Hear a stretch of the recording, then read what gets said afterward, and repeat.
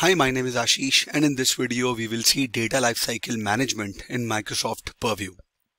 Data lifecycle management helps you manage the end-to-end lifecycle of all content across the organization's digital estate, including Microsoft 365, third-party clouds, hybrid deployments, and any content you bring into Microsoft 365.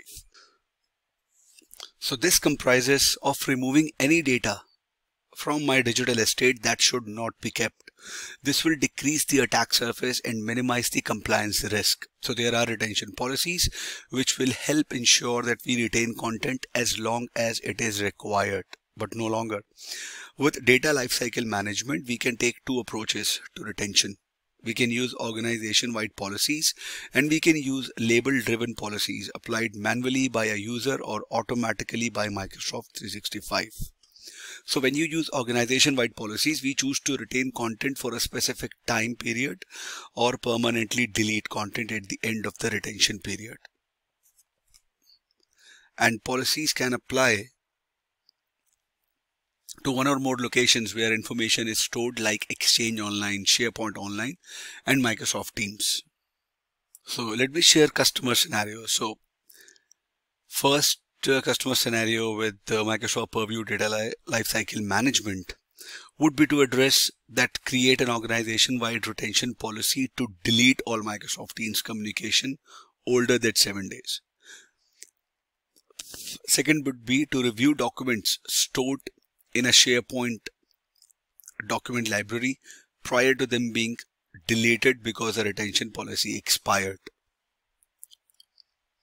and then implement a five-year retention policy where automatically labeled content will be kept five years and then automatically deleted. Let me paste that customer scenarios from Microsoft documentation. Here are the scenarios.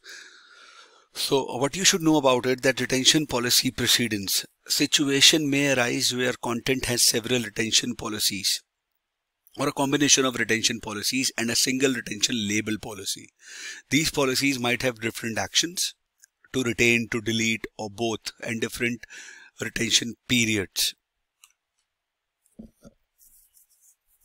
Let me show you the retention principle and explain what takes precedence. So if you see this image I've taken from the Microsoft documentations. So retention will win over deletion.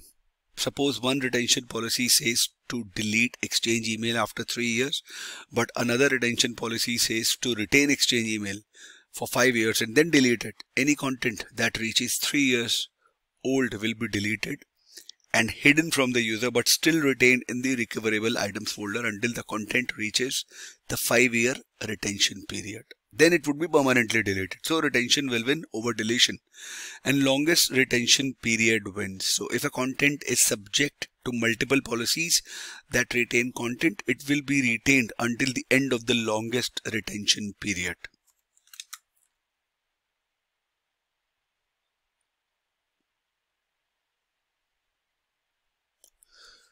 And explicit inclusion wins over implicit inclusion if a label with retention settings is manually assigned, known as an explicit label by a user to an item, such as an Exchange email or OneDrive document, that label makes takes precedence over a policy assigned at the site or mailbox level. For example, if the explicit label says to retain the item for 10 years, but the policy assigned to the site says to retain it for 5 years, the label takes precedence. Auto-applied labels are considered implicit, not explicit, because they are applied automatically by Microsoft 365.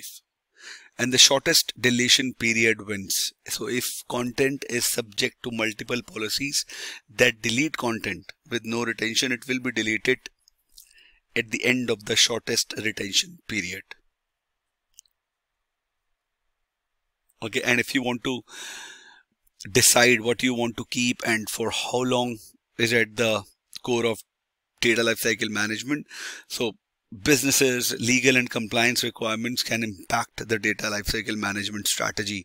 So if, if a team is responsible for data lifecycle management in the organization, they should identify the content to retain or dispose for business and legal requirements. And then the governance team will also need to identify the regulations that apply to the organization, many of which include data lifecycle management requirements. You see this image. So compliance score maps these compliance regulations like the US Health Insurance uh, Portability and Accountability Act, which is HIPAA, to actions recommend to achieve compliance. Many of these actions can be addressed using the data lifecycle management solution. If you see this image, it shows the improvement actions in the data lifecycle management solution the organization can take to, to improve its compliance posture relative to HIPAA.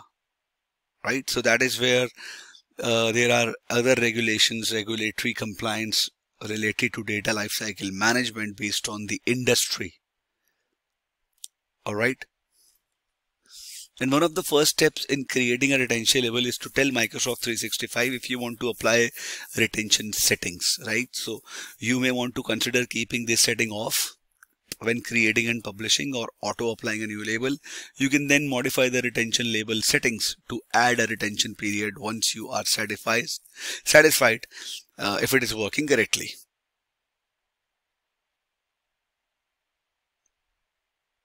Okay so in the next video we will discuss about configuring retention policies and uh, in the forthcoming videos we'll see retention labels manual retention label policies, auto apply retention label policies, uh, import data for data lifecycle management, manage, monitor and remediate data lifecycle management as well.